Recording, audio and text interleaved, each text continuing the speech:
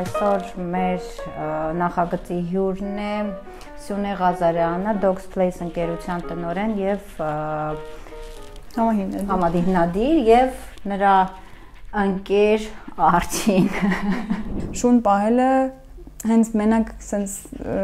այդ սիրուն պուպուշ բաները չեն, որ շուն պահենք։ Շուն պահելուց մենք ինքներս էլ ենք սովորում շատ բաներ։ Մենք սովորում ենք հոգ տանել, մենք սովորում ենք համբերատարություն, այո։ Ու երեխաների համար էլ է շատ լավ շուն պահել իրանց հոգեբանությունը փոք հենց փոքրուց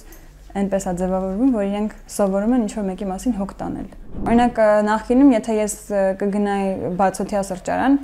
ձմռանը ավելի դժվար կլիներ գտնել մի տեղ, որտեղ որ հնարավոր կլիներ գնալ շան հետ։ Բայց ամռանը օրինակ կասկադում, հա, եթե չասենք ռեստորանների անունները, բայց որոշ տեղերում հնարավոր է նստել շունոյի հետ։ Իրենք պաշտոնապես pet friendly չէին, բայց կհանդուրժեին օրինակ շունոյին, եթե հա։ բացօթյա տեղում նստեինք։ Բայց հիմա հենց նշումով կան pet friendly հա։ վայրեր, որը շատ հաճելի է իրականում տարբերվում է քաղաքի ու գյուղի պատկերացումը, հա, շուն պահելու մասին, խորհուրդ կտայի հասկանալու հաճախորդի